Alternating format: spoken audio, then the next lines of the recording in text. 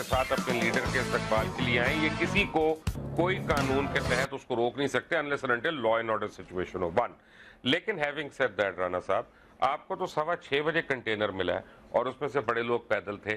تو اس کا مطلب ہے کہ آپ نے کبھی بھی اپنے لیڈر کو لینے کے لیے سیریس نہیں آئے آپ۔ کیونکہ چھ بجے تو ان کی فلائٹ اوریجنلی لینڈ کرنی تھی۔ تو آپ کو تین گھنٹے تو صرف موٹر وے کے اوپر گاڑی پہ لگنی ہے۔ اس بعد آدھا گھنٹہ مزید ایئرپورٹ تک جانے کے لیے ہے۔ تو دیکھیے آپ تو ابھی بھی فلائٹ مس کر رہے ہیں اگر آپ کو چھوڑ بھی دے تو۔ نہیں نہیں لکمان صاحب بات یہ ہے کہ میرا جو گھر سے نکلنا ہے یا کارکنوں کا عوام کا گھر سے نکلنا ہے یہ ووٹ کو عزت دو اور سیدین بالا دستی کے نعرے کے ساتھ ازارے جتنی سر آپ کو سلام ہے۔ آپ کو میں سلام پیش کر رہا ہوں لیکن معذرت کے ساتھ آپ نواز شریف صاحب کو لینے جا رہے کو حاجی کے لیے نہیں نکلے۔ کہ آپ حج پہ جاتے ہوئے وفات ہوگی تو حج قبول ہو جائے گا۔ نہیں یہ نہیں ہوگا۔ آپ ایک اہم آدمی کو لینے جا رہے ہیں۔ پلیز اس کو دو باتوں کو الگ الگ رکھیں۔ بڑا کام ہے یہ حج سے بڑا کام ہے۔ یہ ملک اور میں نہیں سننا چاہتا یہ بات حج سے بڑا کوئی کام نہیں۔ میں ایسی بات نہیں سننا چاہتا حج ہی بڑا کام ہے۔ توبہ نعوذ باللہ۔ اللہ تعالیٰ ہمارے گناہ معاف کرے لیکن نہیں میں نہیں سن سکتا یہ بات۔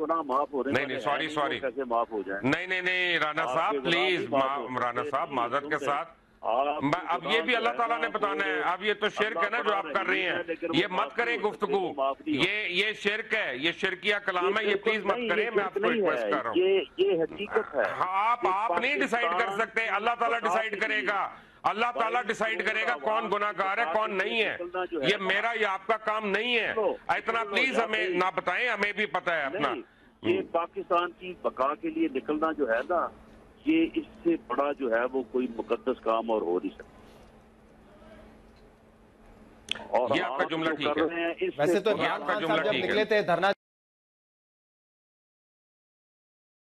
دینے کے لیے اور ملک کو بند کرنے کے لیے وہ بھی یہی کہہ رہے تھے کہ میں ملک کی بقا کے لیے نکلا ہوں اور اصل جمہوریت بحال کرنے کے لیے نکلا ہوں تو رانا صاحب ہر کوئی یہ کہتا ہے لیکن میرے خیال سے اس کو اس چیز سے نہ کمپیر کریں کہ یہ حد سے بڑا کام ہے۔ آپ کے لیڈر ہیں آپ محبت میں نکلے ہیں ٹھیک ہے۔ لیکن یہ یہ غلط ہے میرے خیال سے یہ کہنا کہ یہ حد سے بڑا کام ہے۔ یہاں پہ بہت سارے لوگ ہیں جو یہ بھی کہیں گے کہ ایک آپ کنوکٹڈ شخص کے لیے نکل رہے ہیں۔ آپ آپ کے لیڈر ہیں آپ اس لیے نکل رہے ہیں لیکن اس یہ کمپیریشن تو غلط ہے نا بالکل۔ سن لینا آپ کو حج کے مالک نہیں پتا۔ آپ لوگ تو صرف یعنی بات کو پکڑ کے پوائنٹ سکورنگ آپ کا جو ہے وہ ایک مقصد ہوتا ہے۔ وہ کبھی کبھی آپ نہیں رانا صاحب آپ